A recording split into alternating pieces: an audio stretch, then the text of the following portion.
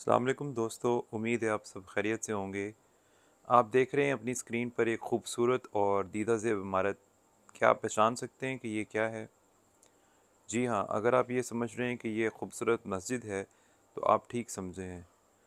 आज मैं मौजूद हूँ पाकिस्तान की एक अजीम दीनी और इल्मी दरसगाह के अंदर, जो जामिया खैरुलमदारिस के नाम से मशहूर है और मुल्तान में वाक़ है।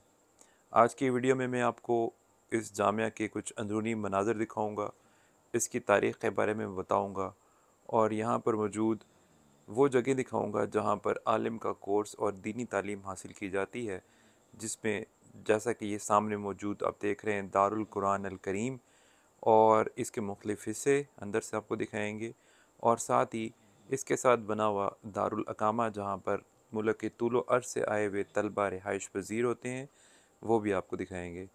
इसके साथ ही इसकी दूसरी समत भी आप देखिए, जहाँ पर कुछ कदीम घर हैं, जो कि क़याम पाकिस्तान से पहले के बने हुए हैं। और ये खूबसूरत मस्जिद भी आपको दिखाएँगे, जो तकमील के आखिरी मराहल में है। दारुल कुरान करीम के दाखिली दरवाज़े पर एक अच्छी बात जो मुझे दिखाई दी, वो दोनों तरफ़ बनी हुई स्लोप थी, जिसके ज़रिए इस बात का ख़ास ख्याल रखा गया है कि जो लोग चल नहीं सकते, वो व्हील चेयर के ज़रिए ऊपर आ सकें।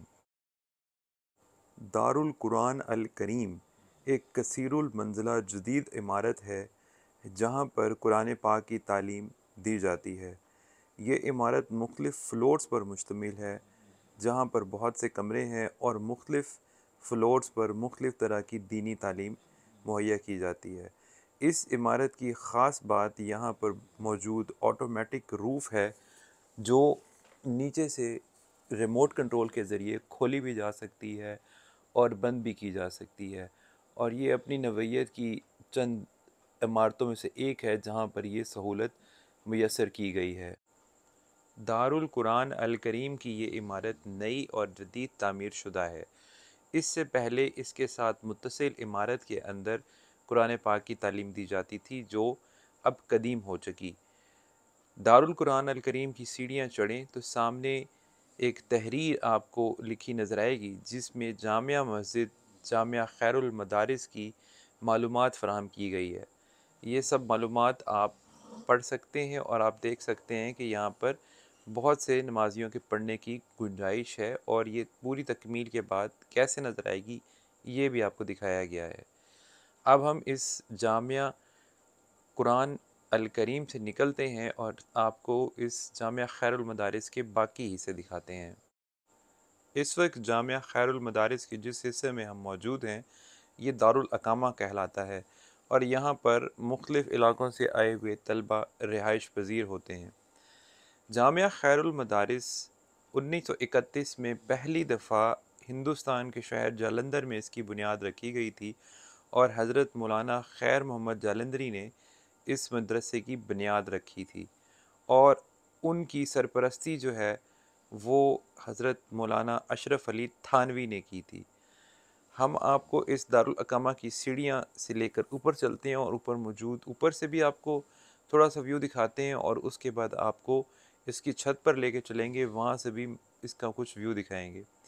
साथ ही साथ आपको इसकी हिस्ट्री भी बताते जाते हैं उन्नीस में जब पाकिस्तान का क़याम अमल में आ गया तो इस मदरसे के लिए जो ज़मीन मुख्त की गई, वो पाकिस्तान के शहर मुल्तान में थी।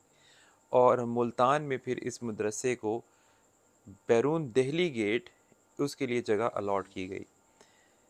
ये आप देख रहे हैं कि इस वक्त हम इस दारुल अकामा यानी हॉस्टल की पहली मंजिल पर आ गए हैं। और आपको दिखाते हैं कि अंदर से इसके कमरे चूँकि आजकल यहाँ पर छुट्टियाँ हैं, जिन दिनों हमने यहाँ पर वीडियो बनाई तो आपको तलबा ना होने के बराबर नज़र आ रहे होंगे। ये देखिए, जैसा कि ये कमरा है, ये खुला हुआ इतफ़ाक़ से। इस वक्त जनाब हम मौजूद हैं जामिया खैरमदारस के दारकामा की छत पर, और ये आप नीचे का हॉल देख सकते हैं। जामिया खैरमदारस मुल्तान के गुंजान आबाद इलाके में वाक़ है। चौदह नंबर चूँकि इसकी एक तरफ़ है और दूसरी तरफ़ इसके दहली गेट है, यानी दोनों के दरमियान जामिया वाक़ है। इसकी बैक साइड पर जो रोड है, उस पर टी बी एस अस्पताल भी वाक़ है। ये आप सामने मौजूद जो जामिया मस्जिद है, उसका व्यू देख सकते हैं। मस्जिद के साथ दाएँ हाथ पर नीचे कदीम हिस्सा है, जहाँ पर पहले तालीम का अहतमाम किया जाता था। दारुल कुरान अल करीम की जदीद इमारत के साथ बाएँ हाथ पर मौजूद इस मदरसे का कदीम हिस्सा है, जो कई साल पहले तामीर किया गया था और वहाँ पर कुरान और अहादीस की तरबियत और तालीम दी जाती थी। इसी हिस्से की पिछवाड़े में इस मदरसे के बानी हज़रत मौलाना खैर मोहम्मद जालंदरी की कब्र भी है। वो हम आपको बाद में दिखाएँगे।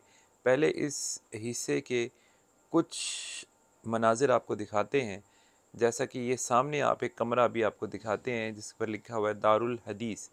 यहाँ पर अहादीस की तालीम दी जाती थी और ये अज़ यादगार जनाब सूफ़ी अता मोहम्मद खाकवानी भी एक तख्ती यहाँ पर नस्ब है। ये कमरा थोड़ा सा आपको खोल के दिखाते हैं इस वक्त ये बंद है। आ, इसको देख खोलते हैं और देखते हैं अंदर से आपको मनाजर दिखाते हैं। ये देखिए ये दारुल हदीस का पुराना मंज़र है, पुराना कमरा है, यानी पहले यहाँ पर तालीम दी जाती थी, अब इसके साथ ही जदीद मदरसा तामीर किया गया है।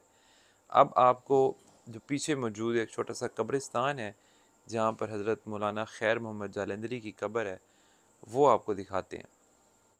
ये एक तख्ती नस्ब की गई है, जिस पर इस मुख्तसर से कब्रिस्तान में मौजूद अशख़ास की मालूम दी गई हैं और ये सात रास्ता बनाया गया है, जहाँ से आप पीछे पिछले हिस्से में जा सकते हैं जहाँ पर हज़रत खैर मोहम्मद जालंदरी और हज़रत मौलाना मोहम्मद अली जालंदरी की कबूर मौजूद हैं। सबसे पहले हम यहाँ पर फ़ातह अदा करते हैं और उसके बाद फिर आपको कुछ और हिस्से दिखाते हैं। और अब हम मौजूद हैं जामिया खैरमदारस की जामिया मस्जिद के सामने, जो तकमील के आखिरी मराहल में है और ये मुल्तान शहर की चंद खूबसूरत तरीन मसाजिद में से एक मस्जिद है। ये इसका मरकज़ी हॉल कमरा है, जो इस वक्त तमीर के आखिरी मराहल में है और इसके नीचे मौजूद जो बेसमेंट है, जो अभी हम आपको इन दिखाएँगे, वो इस वक्त फंक्शनल है और वहाँ बाकायदगी से नमाज़ अदा की मस्जिद के फ़र्स्ट फ्लोर से ये उस हिस्से का खूबसूरत नज़ारा है, जहाँ पर थोड़ी देर पहले हम मौजूद थे, यानी दारुल कुरान अल करीम और दारुल अकामा में। अगर आप दाएँ हाथ पर महराबों की तरफ़ निगाह दौड़ाएँ तो इन खिड़कियों के पीछे वज़ू खाना और रिहाइश के कमरे हैं और बाएँ तरफ़ मस्जिद का मरकज़ी हॉल है और सामने सूरज ढलने का खूबसूरत मंज़र। आइए अब सीढ़ियाँ उतर कर नीचे चलते हैं और मस्जिद की बेसमेंट का वो हिस्सा आपको दिखाते हैं, जो फंक्शनल है और बड़े खूबसूरत अंदाज से तामीर किया गया है। जैसा कि हमने दारुल कुरान अल करीम की सीढ़ियाँ उतरते हुए वहाँ पर देखा था कि इस मस्जिद में तकरीबन छः हज़ार से ज़ायद लोगों के नमाज़ पढ़ने की गुंजाइश है। और देखिए, इस वक्त हम नीचे आ गए। बड़ा खूबसूरत फ़र्श है और इस्लामी तर्ज तमीर का ये एक नमूना है जिसके अंदर आप देख रहे हैं कि महराब का इस्तेमाल बड़ा फ्रिक्वेंटली किया गया है।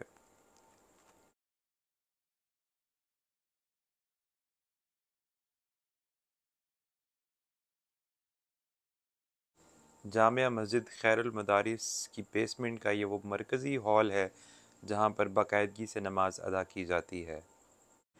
उम्मीद है आप लोगों को इस अजीम शान जामिया खैरमदारिस की ये सैर पसंद आई होगी। इन अगली दफ़ा ऐसी ही किसी मालूमती वीडियो के साथ मिलेंगे। तब तक के लिए अल्लाह हाफिज़।